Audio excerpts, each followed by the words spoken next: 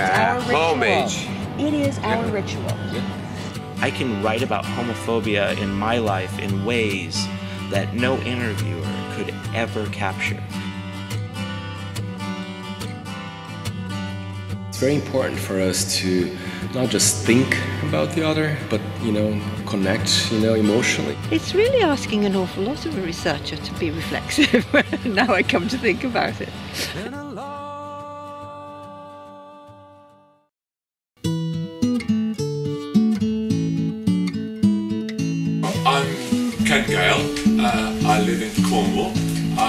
An academic and I work at University of Plymouth. I've been there for nearly 20 years. Born in Looe in Cornwall, um, which is just down the coast from where I live now.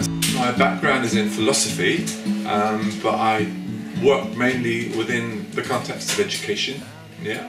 Um, and most of the research that I do, uh, whilst not specifically about education, is is, is, a, is about the kind of methodologies, particularly qualitative methodologies that we, we, we, I like to use in education. I see myself as a Cornishman much more than I see myself as an Englishman or even a British person. I'm really strongly aligned to my Cornish identity. I was born in Cornwall. I have a strong sense of Cornish culture. I mean, I love singing.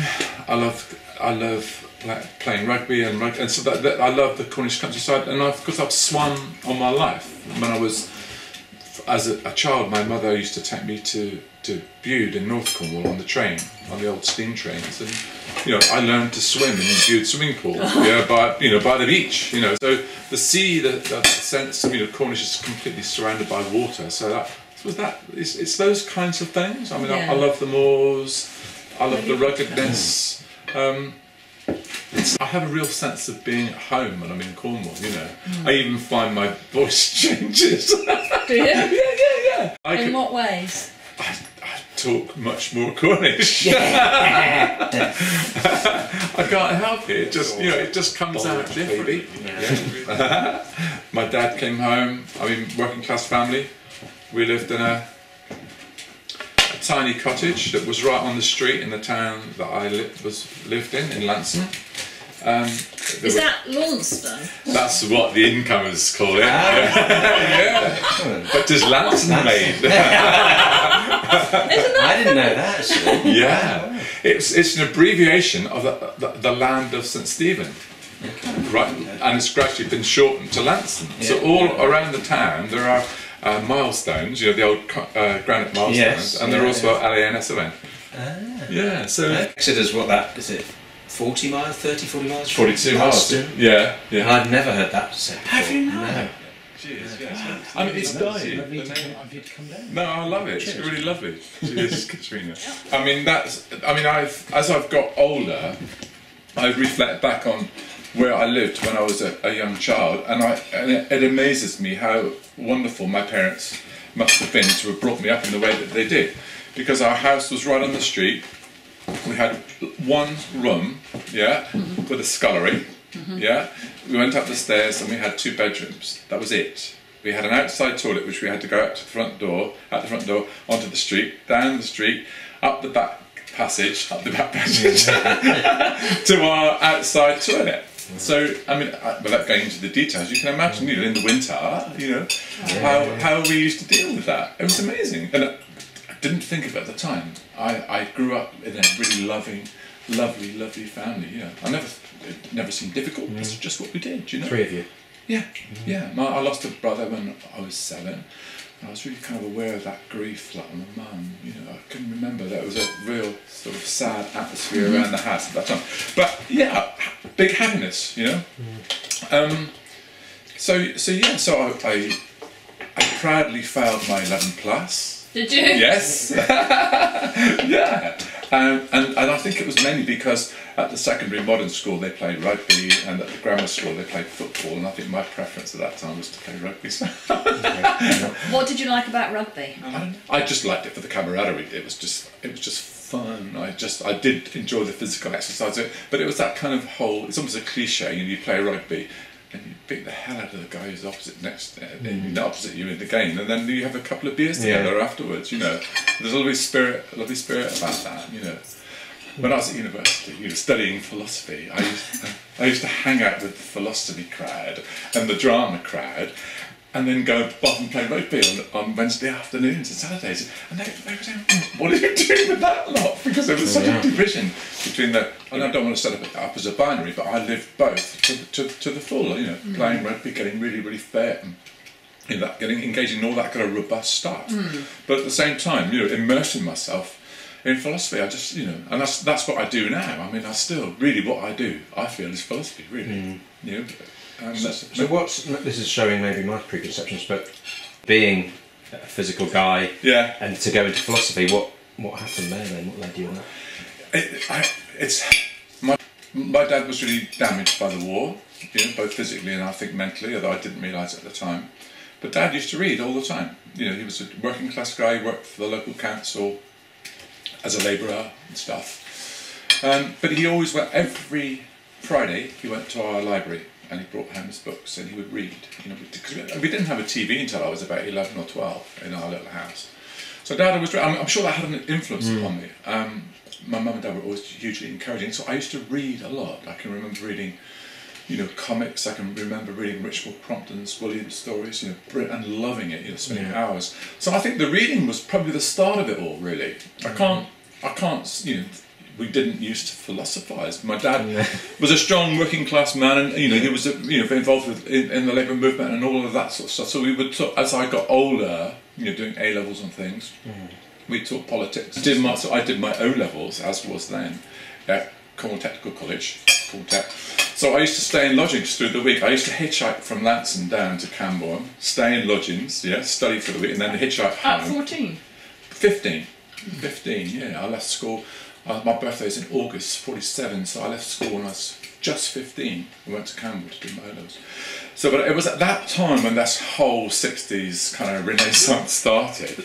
and, my- you know, getting, being out of my mum and dad's way for the Yeah. week, I started to grow my hair. And, and dad couldn't handle it. You know, he saw it as being effeminate, it's scruffy, all of the cliches, you know, which now we think are bizarre. Yeah, at the yeah. time, they were really meaningful my dad would give me some money on, on Friday or Saturday to go down and get your bloody haircut. Yeah, yeah. Because I wouldn't pay. yeah, yeah, it was, yeah, it was really bad, you know. So we, we kind of fell out over that.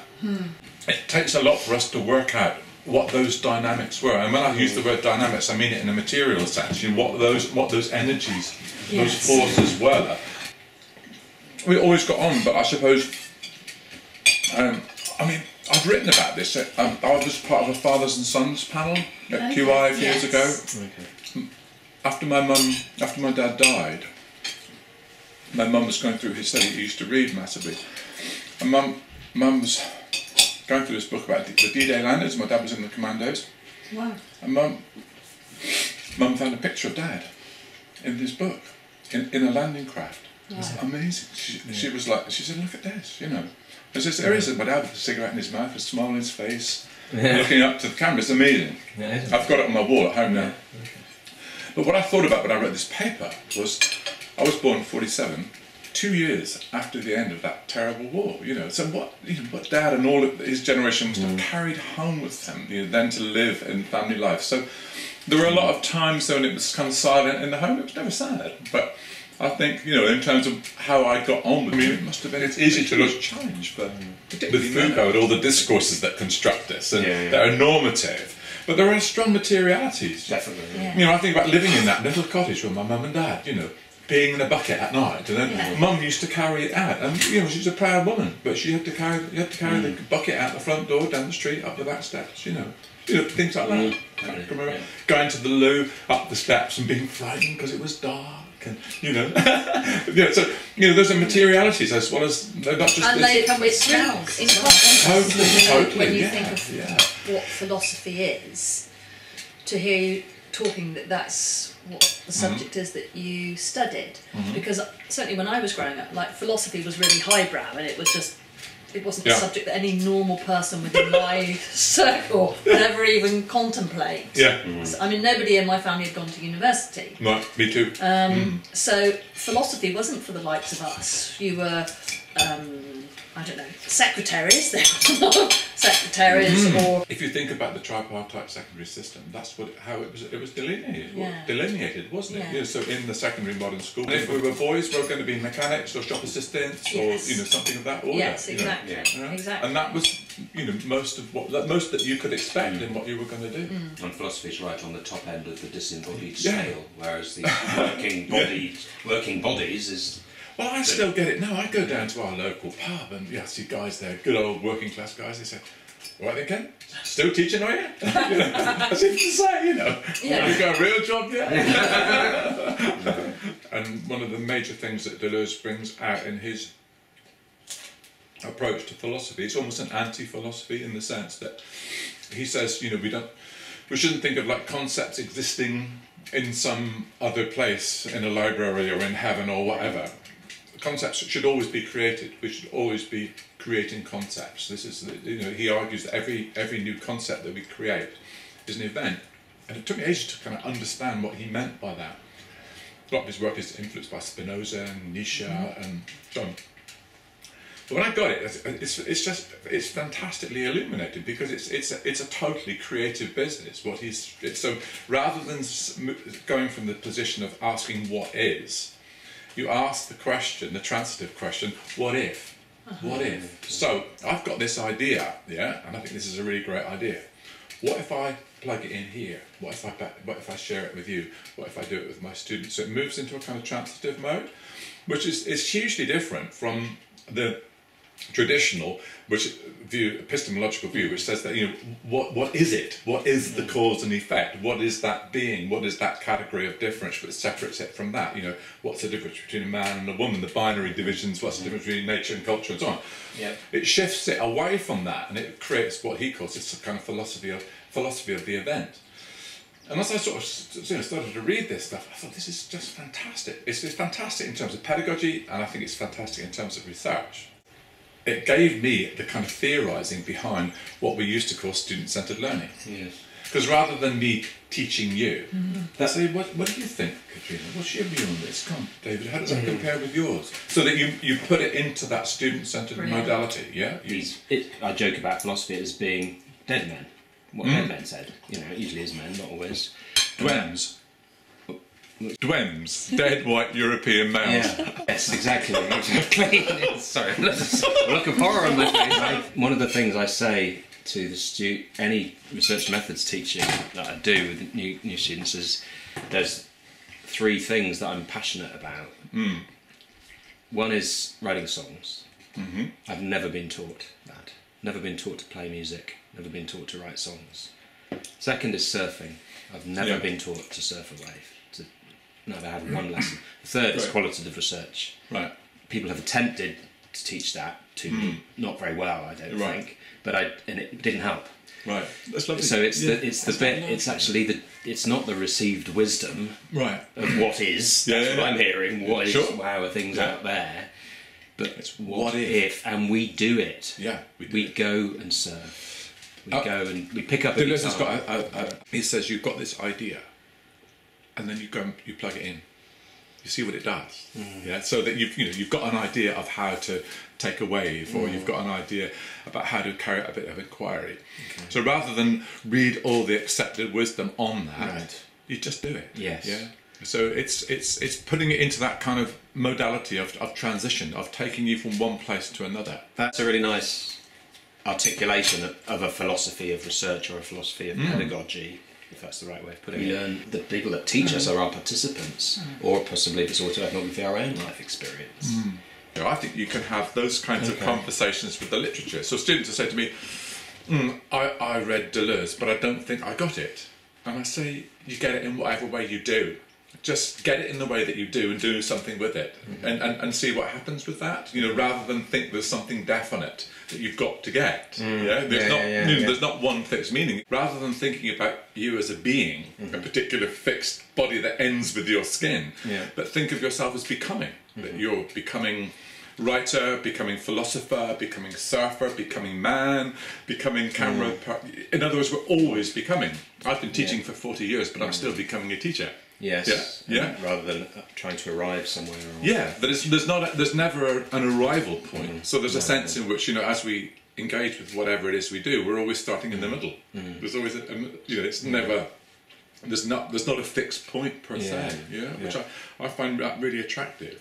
So it, it breaks down the kind of categories of difference and the binaries, you know, which says, well, that's you know, I, I mean, I I I examined a PhD in Bristol you'll know the person, um, a, a, a, a young a, a person who was transgendering, Okay. and the, the, it was an autoethnography of tran- transgendering. It was fantastic because the, the movement from male, if you like, to female, if you like, as categories of different, were completely dissolved through the autographic and ontological nature of the life. I, I can't say his life because it was uh, this transgendering Yeah. life. Yeah. So there's a sense in which, in that, tr- in those transgendering moments and movements, there was always becoming, becoming Mm. other, and it was. A, for, I I found it hugely moving, but it was also a really powerful piece of work, a Mm. really powerful piece of writing because it was very ontologically infused, but it was very much of these. Um, that um, There's an. what is research is to find out what is. Mm-hmm. and we will arrive there. It's not becoming. yeah. It's about Yes. being, arriving, Yeah. finding the destination, Getting and the then we're done. Yeah. Exactly. Yeah. Whereas what you're talking about now is I would I would argue that in I, I would argue that data is an event. Yeah, that that, that that that actually what we supposedly collect and then analyze, which is the binary construction of most traditional research mm. methods courses and Yes. research practices, is actually an is, a, is an artivist. Because you know, for example, you know, we could argue that your your film today is, is is is a piece of data. It's an event which has been is. generated, and, and therefore it's eventful. Yes. Yeah? And it's part of what Spinoza calls duration. It's about eventuality. Yeah. Yeah. There's a sense in which it's moving on. You know, if if this goes viral, I'm sure it will at some stage. it will be processual. It will it will have it will be instigative of, mm. of other events. You know, it will be part of mm-hmm. process. So when Whitehead says that process always precedes substance. You know, we should, so rather than thinking about substance as being something fixed, you know, male, female, dog, cat, or whatever, we have to think about these processes of, of, of as being instigative of change. Not to do away with the idea that we are substantial. Mm. That these, you know, about what you were saying about David and the sea, Yeah. and the the, the, the the movement through the water, and Yes. you know that that whole. You know, Donna Haraway says our bodies don't air with our skin, I- and I love that Yes. idea of our molecularity and the sense of temperature. I can I can smell the sun Absolutely, coming yeah. out a little bit then. You know. No. if I was a, student, you know, back to the early stages of an MSc in exercise and health science, let's say, um, I'm seeing data as a way of, as not an event, am I? I'm, I'm seeing it as a product or a, hmm. a- an artifact, Yeah. an object almost. Hmm. What, how would you, what would you say to me as an MSc student? Researchers, there's no such thing as a view from nowhere. Yeah, every view is from somewhere. You know, we- we- in other words, we've all got a stance. We're all, we've all got positionality. We're Yeah. all ontologically predisposed by things that I've been talking about, say my background or the books I've read or whatever. So then there's a sense in which you've got to problematize that which has been produced or that which has been collected and analysed. Yeah, you've got to you've got to problematize that. So rather than answering that question directly, I would I would be offering up that view to them, and then I would I would I would want to encourage them to think about well, therefore, you know, how would you do, view this? Do we all view this differently? You know, if we are taking your perspective, your perspective, my perspective, and then we become circumspective, yeah, there's a whole bunch of stuff in there, isn't there? Yeah, you know, yeah. so it's it's kind of I suppose rather than replacing one set of answers with another, Mm. it's shifting from one set of answers where cause and effect have supposedly been established to Yeah. just troubling that, Yeah. to troubling those waters. You know, to, you know. Another more water metaphors, yeah, but troubling those waters, you know, setting up these problematizations and encouraging them to think more so that they can become, Yeah. be in that process of becoming researchers.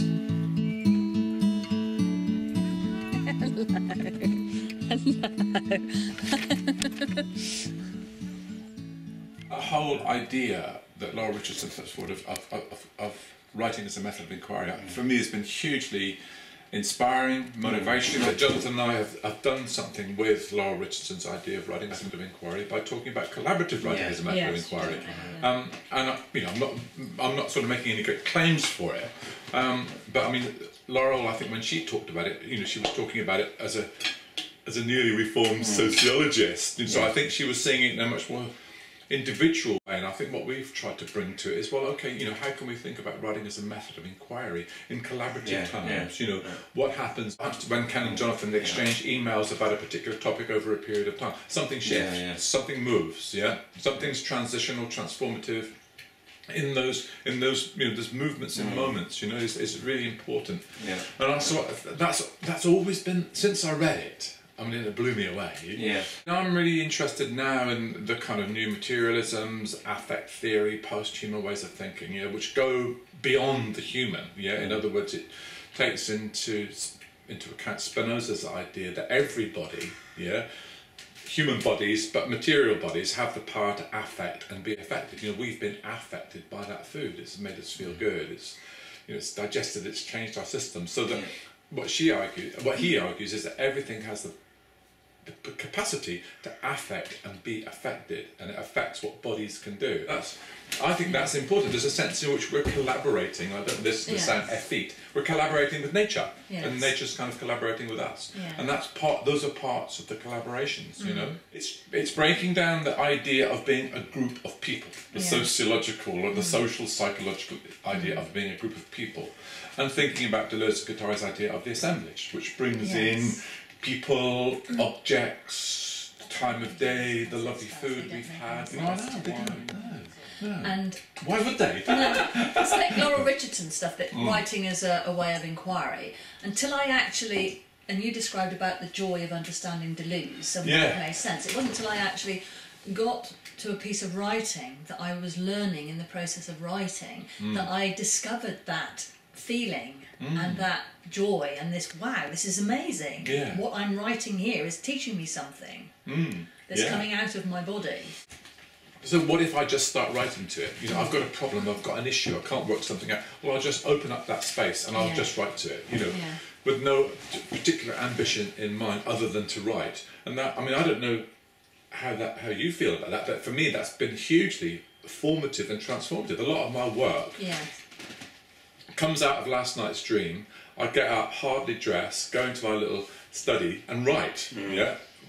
Probably with a fragment of an idea, and whatever comes out may not gestate, may not gestate into Which something. is that- exactly opposite from what we're asked to do in teaching Mm. practice, which is identify in advance what the student's going to learn. Absolutely. And then teach to that. And I've always method- struggled with that. method. And what do we do on research? Which is hugely programs? What do we have? Yes. Yeah, it's hugely anticipatory, and it doesn't take into consideration the possibility that as a an inquiring person, you're changing. Yeah. You're, you're changing all the time. Qualitative inquiry, I think, is, as we know, it's, it's looking for the complexity that's involved in that. It's looking for the meanings behind a particular response. You know, we're asking questions like, you know, is this a gendered space? You know, is this a space which is ethnicized? Is it to do with our, our sexuality? Is it, you know, we, we start to infuse our inquiries about meaning with all of those possible sort of dimensions and relationality. You know, we are not simply saying we've got a measurement that person X does this and person Y does that.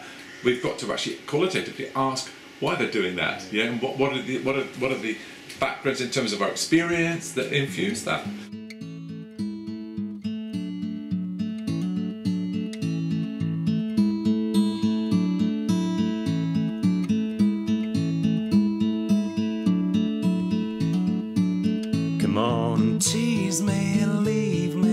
Me or It's like letting a dog off the lead. I can't, can't keep up with it. I never can get enough. Create it, locate it, fake it if you must. Uh, I've always loved being in the sea.